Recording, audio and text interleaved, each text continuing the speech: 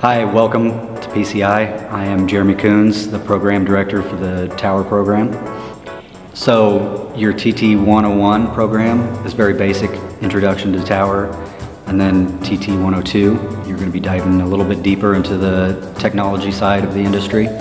And then your Practicum is your boot camp course where we'll dive down into the deeper safety side of it. Lots and lots of climbing, safety, getting your first aid CPR, uh, getting certified to get out there and get a job. Uh, my favorite thing about teaching boot camp is definitely the climb. Watching you guys descend off the tower, it's a lot of fun, a lot of fun. You guys can come through and ask me questions long after you graduate.